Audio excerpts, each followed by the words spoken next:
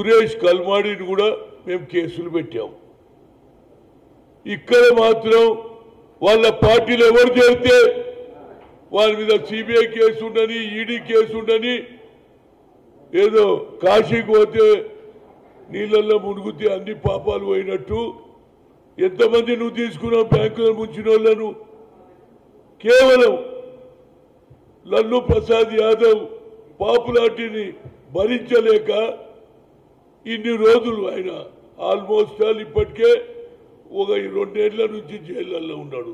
మళ్ళీ ఐదేళ్ళు శిక్ష పడ్డది. అంటే ఎవరైతే పాపులర్ ఉంటాడో ఎవరికైతే పబ్లిక్ బలం ఉంటుందో వాళ్ళని అనగదొక్కే కార్యక్రమం తప్పితే మేము వాజ్పేయిని చూసాం అద్వాని చూసాం వాళ్ళు ఈ పద్ధతి చేయలే.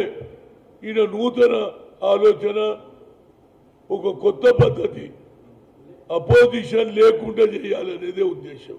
ఆనాడు మరి నరేంద్ర మోడీ గారుతో చేయి కలిపినుంటే ఇలా లల్లు ప్రసాద్ యాదవ్ జైలుకు పోకపోతుండే. ఇది సాంప్రదాయం మంచిది కాదు. కక్ష సాధింపు. మేము ఎన్నడూ కూడా కక్ష సాధించలేదు.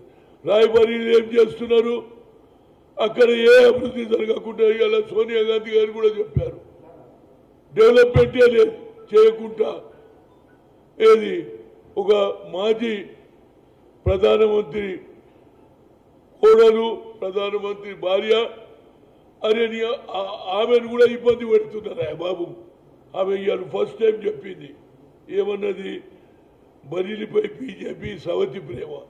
అంటే అపోజిషన్కు ఉండకుండా కేవలం మతతత్వ పార్టీలకే ఈ పట్టా పగ్గాలు కట్టాలనే వీరి ఆలోచన ఏదైనా లల్లు प्रसाद यादव जी आप जेल में रहे तो शेर है मैं एक शेर सुना था जेल में हूँ पिंजरे के जाल में हूँ మరే దమ్ తక్ తో రైతు అన్నట్టు షేరు ఆఖరి వరకు జైలుకు పోయేందుకే తయారైండు కానీ బీజేపీతో చేయగలపలే that is the greatness of Lalu Prasad Yadav ji Prasad ji आप राम लोहिया के हित कद नक्शे कदम पे चल रहे या ऐसे चलने दो। इसमें कोई देश को तोड़ने का पार्टी को आप कभी भी हाथ नहीं मिलाना चाहिए। हम आपके साथ हैं, आगे भी रहेंगे। बराबर इस देश में सोनिया गांधी, राहुल गांधी बीजेपी से लड़ते रहेंगे। सेकुलर सिद्धांतों को हम नेहरू से लेके आज तक हमारा सिद्धांतों में कोई चेंज नहीं रहेगा और तुम कितने लोगों को जेल डालते डालो हम बराबर बाहर आने के बाद तुम्हारा काम बराबर करेंगे सिर्फ కక్ష సాధి మరి గతంలో ఉన్నటువంటి విజయ్ మల్ల సంగతి ఏంది నరేంద్ర మోడీ సంగతి ఏంది అరే వీళ్ళందరూ బయటనే ఉన్న నువ్వు రావడంతో अब आने के बाद इमीडिएट बोले पकड़ ఇది కేవలం లల్లు ప్రసాద్ యాదవ్కు ఇప్పటికే ఎన్నోసార్లు ఆయన జైల్లో పెట్టిండ్రు ఆఖరి మళ్ళా ఐదేంటికి శిక్ష ఇచ్చిండ్రు ఇది ప్రజాస్వామ్యంలో చీకటి రోజు అంటున్నా. మరి ఎంతో మంది దొంగలు ఉన్నారు వాళ్ళకెందుకు నువ్వు పట్టవు? నీ పార్టీలో ఉంటే న్యాయమా? వాజ్పేయి ఎప్పుడు ఇట్లా చేయలే? వాజ్పేయి సిద్ధాంతాలు వేరు నరేంద్ర మోడీ సిద్ధాంతాలు వేరు కనిపిస్తున్నాయి ఏదైనా మరి లాలూ ప్రసాద్ యాదవ్కు శిక్ష మాకు చాలా ఒక ఓబీసీ ఓబీసీ లీడర్గా నాకు చాలా బాధ ఉన్నది. ఆయన ఎప్పుడు కూడా బడుగు బలైన వర్గాల గురించి పార్లమెంట్ లోపల పార్లమెంట్ బయట కొట్లాడతాడు. అయితే ఓబీసీ ఎంపీస్ కన్వీనర్గా నేను తప్పనిసరిగా బాధపడుతున్నా. తప్పనిసరి ఒక రోజు పోయి ఆయనను కలుస్తాను.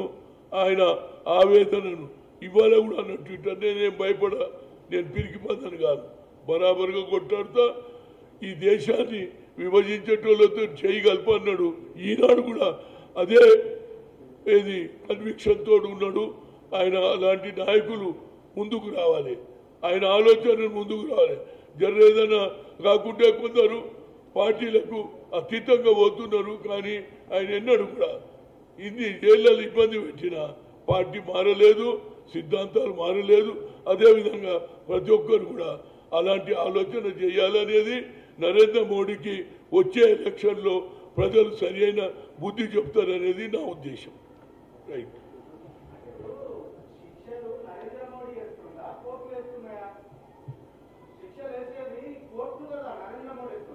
చూడండి కోర్టుల ఇన్ఫ్లుయెన్స్ కాదండి కొందరికి సిబిఐ కేసు పెట్టి రెండు సార్లు పిలిచిచ్చి ఆ కేసులు ఎందుకు పెండింగ్ ఉన్నాయని అడుగుతున్నా. కొందరు పిలిచారు కదా బ్యాంకులను ముంచిన వాళ్ళను సిబిఐ కేసు అయింది ఈడీ కేసు అయింది. మళ్ళీ ఆ కేసు ఎందుకు బయటకు వస్తలేవు అనేది నా ఉద్దేశం. రూల్ అంటే అందరికీ రూల్ ఉండాలి.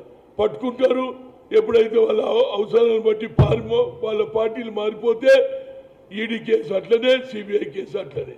ఈయన దగ్గర అట్లా కాలేదు ఈయన కూడా ఒకసారి అసోసియేట్ అయితే చాలు ఆయన కేసు కాకపోతుండే జైలుకోకపోతుండే ఇది తొంద వైఖరి.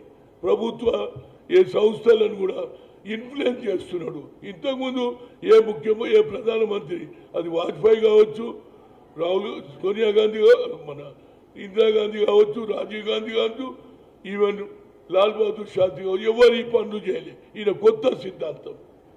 ఈ కొత్త సిద్ధాంతంతో ప్రజలకు అర్థం కావాలి. అప్పుడున్న ఆలోచన మా- మేము కూడా ప్రభుత్వం ఉండే మన్మోహన్ సింగ్ రాజా తప్పు చేసే కర్మీని పంపించినవా లేదా? మరి ఈ ప్రభుత్వంలో నీరన్ మోడీ సంగతి ఏంది? విజయ్ మల్య సంగతి ఏంది? మన మిగతా ఎవరైతే వ్యక్తులు ఇప్పటిదానిక వాళ్ళ కేసు అయింది కేసులు ఎందుకు ఆగినది అందుగురించి దంద వైఖరి ఉన్నది. నీ దగ్గర ఒక న్యాయం నీకు వ్యతిరేకంగా ఉన్నారా? పార్టీల మీద వేరే ఆలోచన చేస్తున్నదే పాయింట్ రైట్ చలియే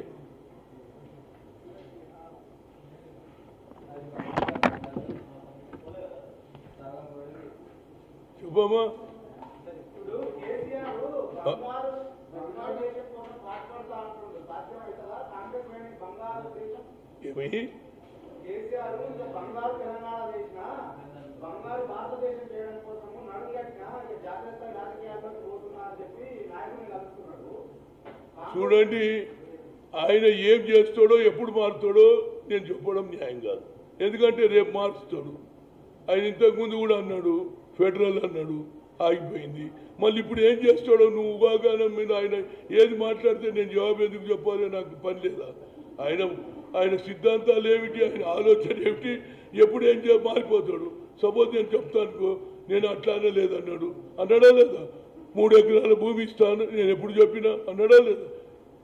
కనుక మా అటువంటి ఆలోచన చేసే మాటలు మమ్మల్ని అడగకండి. ఎందుకంటే ఏదైనా ఖచ్చితంగా అవలంబిస్తా అన్నటువంటి మేము చెప్పగలుగుతాం. నేను అననే లేదని మూడు ఎకరాలు నేను ఎప్పుడన్నా ఒక ఎకరం ఉన్నోనికి రెండు రెండు ఎకరాలు ఉన్న ఒక ఎకరం అనడా లేదా? నేను అననే లేదన్నాడు లక్ష ఉద్యోగాలు అన్నాడు. నేను అనేది any chief minister of anybody ఏదో ఒక మాట మీద ఉంటే దాని మీద మేము దానికి స్తంభించినా దానికి రియాక్షన్ చేస్తే బాగుంటుంది. నేను అనలేదంటాడు ఇప్పుడు యూపీఏతో కలిసినటువంటి శివసేనను యూపీఏలో కలిసినాయి కదా శివసేన ఎన్సీపీ శరద్ పవార్ కలిసిండు శివసేన కలిసిండు అంటే కాంగ్రెస్ టీఆర్ఎస్ కలుస్తున్నాయా ఏమి?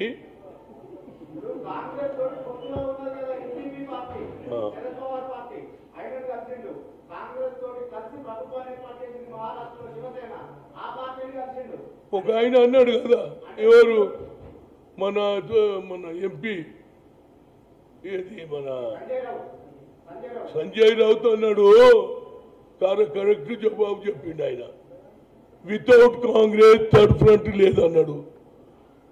థర్డ్ ఫ్రంట్ కావాలంటే కాంగ్రెస్ ఉన్నటువంటి పార్టీ బలపడితేనే థర్డ్ ఫ్రంట్ అవుతుంది ఇక ఆయన ఎన్ని చేసుకున్నా ఇవాళ ఎవరు కూడా అదే అంటున్నారు. కాంగ్రెస్ లేని థర్డ్ ఫ్రంట్ ఉండదు.